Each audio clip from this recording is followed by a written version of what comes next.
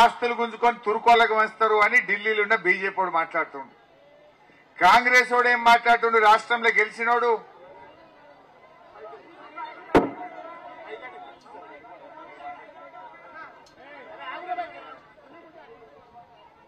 రాష్ట్రంలో ఉన్న కాంగ్రెస్ వాడు ఏం మాట్లాడుతుండంటే పర్వాలేదురా భయ్ అట్లుండిగా.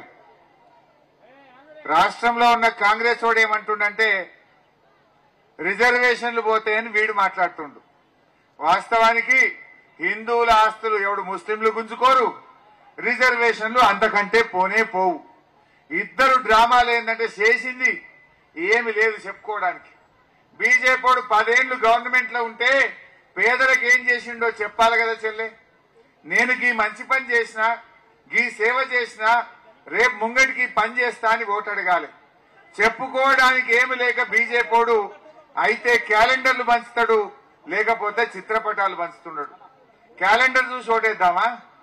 మీ ఇంటికి వచ్చిన ఈ క్యాలెండర్ నాకు తెలుసు. క్యాలెండర్ కడుపు నింపుతారా? ఏం చేసింది బీజేపీ? పదేండ్లు బీజేపీ అధికారంలో ఉంటే మీ సిలిండర్ ధర మూడు వందల యాభై రూపాయల నుంచి వెయ్యి రూపాయలు చేసింది. పెట్రోల్ డీజిల్ ధరలు వంద రూపాయలు దాటిచ్చింది జీఎస్టీ అనే పన్ను పెట్టి ఉప్పు మీద పప్పు మీద నూనె మీద అన్ని ధరలు పెంచి గరీబులను పరేషాన్ చేసింది బీజేపీ. అదాని అంబానీలను ప్రపంచ కుబేరులు చేసింది రైతులను పేదలను రోడ్డు మీదికి తెచ్చింది బీజేపీ. అందుకే ఇవేం చెప్పుకోవడం చేతగాక ఏమంటారు? హిందూ ముస్లిం అంటారు. అక్షింతలు అంటారు. చిత్రపటం అంటారు. క్యాలెండర్ చూసి ఓటేయమంటారు. మన బీఆర్ఎస్ పార్టీ ఉంటే కేసీఆర్ ఏం చేసిండు అంటే అవ్వ తాతలకు రెండు వేల పెన్షన్ ఇచ్చిండు. ఆడపిల్ల పెళ్ళికి లక్ష రూపాయలు ఇచ్చిండు. బిడ్డ కాన్పుకు పోతే కేసీఆర్ కిట్ ఇచ్చిండు. రైతులకు ఎకరానికి పదివేల రైతు బంద్ ఇచ్చిండు. రైతు బీమా ఇచ్చిండు. బాయికాడ ఇరవై నాలుగు గంటల కరెంట్ ఇచ్చిండు. కాళేశ్వరం గట్టి ఎండల్లో కూడెల్లి వాగుల నిండుగా నీళ్ళు మారిచ్చిండు కేసీఆర్. మరి బీజేపీ ఏం చేసింది చెల్లె? ఏమన్నా ఉన్నదా? ఇంకొక విషయం చెప్పాలి. మన మెరుదొడ్డిలు అందరు బీడీలు చేసే అక్క చెల్లెళ్ళు ఉంటారు. మంచిగా వినాలి మీరు. కాంగ్రెస్ వాడు బీజేపీ కలిసి బీడీలు చేసే అక్క చెల్లెలను ఆగం పట్టించిండు. కాంగ్రెస్ వాడు వెనకట పుర్రె గుర్తు పెట్టిండు. బీడీ కట్ట మీద పుర్రె గుర్తు పెట్టి ఆగం పట్టించినోడు కాంగ్రెస్ వాడు. ఈ బీజేపీ వాడు పదేండ్ల గెలిచి వీడేం చేసిండు? ఆ బీడీ కట్టల మీద ఇరవై ఎనిమిది శాతం జీఎస్టీ పన్ను వేసిండు. ఇరవై ఎనిమిది శాతం పన్నేసి ఆయనతో బీడీ ఆకు పది రోజులు కూడా దొరకలేదు వాడు పుర్రే వీడు పన్ను. కాంగ్రెస్ వాడు బీజేపీ పుణ్యమాని. నెలకు ఇరవై ఐదు రోజులు పనిచేసే అక్క చెల్లెళ్ళకు పది పన్నెండు రోజుల పని కూడా దొరకని పరిస్థితి వచ్చిందా లేదా? ఇప్పుడు ఇంక జాలదట బీజేపీ ఏమంటుండి ఏమంటుండే ఇప్పుడు? PF card. మీకు పిఎఫ్ పెన్షన్ వచ్చేది ఐదు వందలు వెయ్యి రూపాయలు. ఇప్పుడు దానికి కూడా ఎసరు పెట్టిండు బీజేపీ అదాని మంచిగుంటే చాలు. బీడీ కార్మికుల గురించి వాళ్ళకి పట్టదు ఏందట? మూడు వేల ఆరు వందల రోజులు బీడీలు చుడితే నీకు పిఎఫ్ పెన్షన్ ఇస్తారట. మూడు వేల ఆరు వందల రోజులు ఎప్పుడు నిండాలి బిడ్డ? నువ్వు నెలకు పది రోజులు ఇస్తే ముప్పై ఏళ్ళు బీడీలు చేయాలి నువ్వు. ముప్పై ఏళ్ళు బీడీలు చేస్తే వాడు ఇచ్చే ఐదు వందల పింఛన్ ఇస్తారట పిఎఫ్ పెన్షన్. లేకపోతే మధ్యలో రాజీనామా పెట్టినా నీ ఆరోగ్యం దెబ్బతిన్నా నువ్వు ఇరవై ఏళ్ళు బీడీలు చేసినా రేపు పిఎఫ్ పెన్షన్ రాకుండా చేసినోడు బీజేపీడు మరి గులాబీ జెండా ఏం చేసింది చెల్లె మీకు? మన కేసీఆర్ రెండు వేల రూపాయల జీవన భృతి ఇచ్చి బీడీ కార్మికుల్ని కాపాడుకున్నాడు. కాంగ్రెస్ ఓడు పుర్రె గుర్తు బీడీలో వీడు బీజేపీ ఓడేమో ఇంత ఆ జిఎస్టి పెట్టి పెన్షన్ రాకుండా చేసిండు.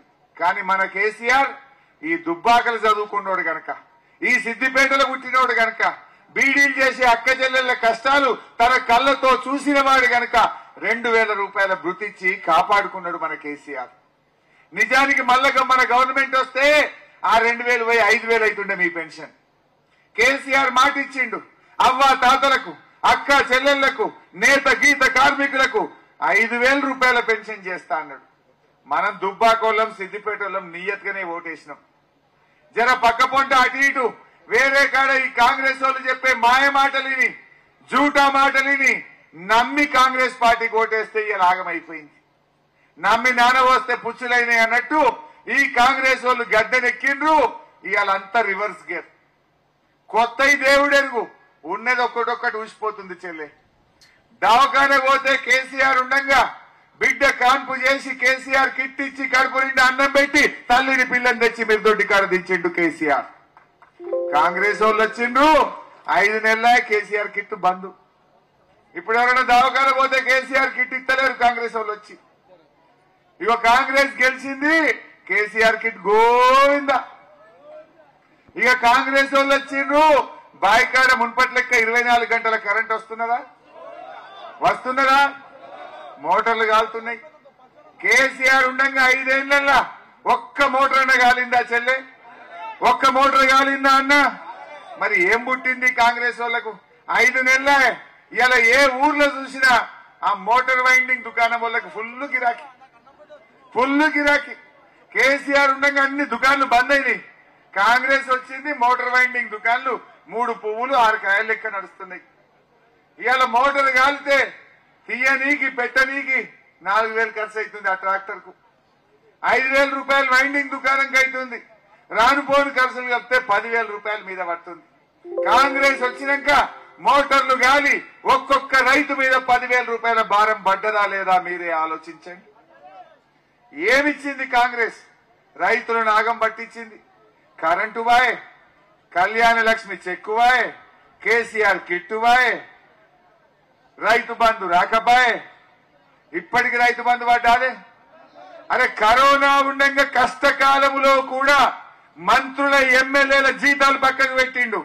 అన్ని పనులు ఆపిండు. రైతుకు మాత్రం టైం మీద రైతు బంధు ఇచ్చిండు మన కేసీఆర్. ఏం పుట్టింది కాంగ్రెస్ వాళ్ళకు? ఐదు నెలలే. ఇంకా సగం మందికి రైతు బంధు వల్లే. వడ్లు కళ్ళాలకు వడ్లు వచ్చినా రైతు బంధు ఇంకా ఇప్పటికి వల్లేదంటే రేపు ఈ కాంగ్రెస్ మన ముంగర వర్ణిస్తుందా ఒకసారిగా టీవీలో చూపిస్తా. ముంగట ఉందో కనబడదు కానీ వెనుకోలకు కనబడుతుంది. ఇవాళ కొన్ని విషయాలు మీకు మంచిగా అర్థం కావాలి. ఎన్ని అబద్దాలు చెప్పిందో కాంగ్రెస్ పార్టీ మీకు తెలవాలి. ఈ అక్క చెల్లెలకు ఏం చెప్పిండ్రు? మహాలక్ష్మి పథకం కింద నెలకు రెండు వేల ఐదు వందల రూపాయలు ఇస్తామన్నారు. దుబ్బాకోలు తెలివికల్లోళ్ళు కనుక నువ్వు దొంగవు నువ్వు ఇయ్యవన్నారు. అందుకే ప్రభాకర్ అన్న కోటేసి గెలిపించుకున్నారు. కానీ కొంతమంది పాపం నమ్మి ఓట్లేసిండ్రు. బాండ్ పేపర్ రాసిచ్చిండ్రు కొడుకులు. బాండ్ పేపర్ అంటే ఊర్లలో నమ్మకం. ఎందుకు? ఏదైనా భయాన పెడితే పది రూపాయల కాగితం మీద రాసుకుంటాం. పెద్ద మనుషుల కూర్చున్నా కులంలో కూర్చున్నా పోలీస్ స్టేషన్ పోయినా బాండ్ పేపర్ జల్తది కదా. అట్లని కాంగ్రెస్ వాళ్ళు మమ్మల్ని ఎవరు నమ్మతలేడని బాండ్ పేపర్ మీద రాసిచ్చిండ్రు. మేం గెలవంగానే వంద రోజుల్లో ఆరు గ్యారంటీలు పదమూడు హామీలు అమలు చేస్తామన్నారు. కొంతమంది పాపం నమ్మి ఓట్లేసిన రోజుల్లో బాండ్ పేపర్ రాసిచ్చారు కొడుకులు. Bond paper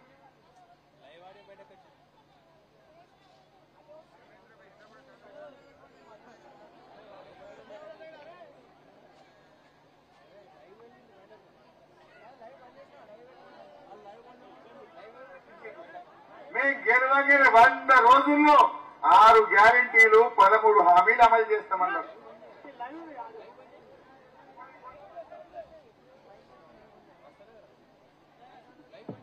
hello hello hello. Yes ఆరు గ్యారంటీలు పదమూడు హామీలు అన్నారు చెల్లె. ఒక్కటన్నా వినయా? రేవంత్ రెడ్డి ఎంత పచ్చి అబద్దాలు మాట్లాడుతుండంటే ఆరిట్ల ఐదైనాయి ఆరిట్ల ఐదైనాయి అంటాడు. ఒక్కసారి ఆ టీవీలో చూడండి. మొదటిది మహాలక్ష్మి. అక్క చెల్లెళ్ళకి గెలవంగానే నెలకు ఇరవై ఐదు వందలు ఇస్తా అన్నాడు. గా ఇరవై ఐదు వందలు చూపిరా తమ్మి. ఇంటాయన దగ్గర నగదు ఉంటేనో బెల్ట్ షాప్లలో ఇస్తున్నాడు. అవునా? అందుకే మా అక్కల కష్టాలు చూసి నగదు మా అక్క దగ్గర పిల్లల చదువులు